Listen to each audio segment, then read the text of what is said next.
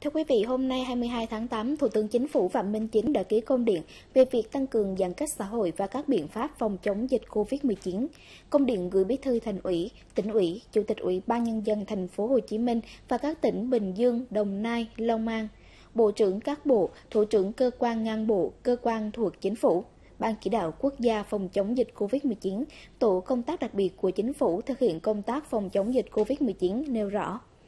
Thủ tướng Chính phủ ghi nhận, biểu dương sự vào cuộc quyết liệt của cả hệ thống chính trị và đặc biệt là sự đồng tình ủng hộ, chia sẻ và tích cực tham gia của nhân dân, doanh nghiệp trong phòng chống dịch tại thành phố Hồ Chí Minh và các tỉnh Bình Dương, Đồng Nai, Long An trong thời gian vừa qua.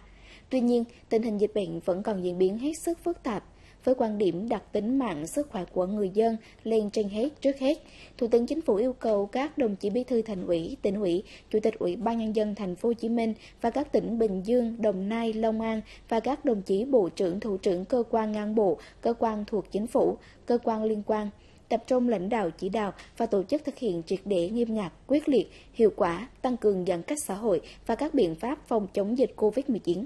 Đặc biệt lưu ý một số nội dung sau đây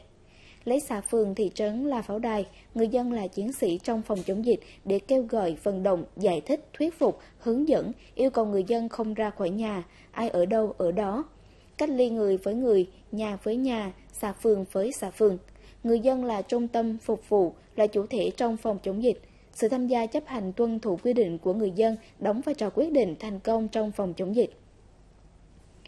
Đây là trách nhiệm là nghĩa vụ và quyền lợi của mỗi người dân để bảo vệ sức khỏe cho chính mình và gia đình và cộng đồng. Chiến thắng dịch bệnh là chiến thắng của nhân dân. Thủ tướng yêu cầu các bộ ngành địa phương khẩn trương chỉ đạo tổ chức thực hiện công điện này.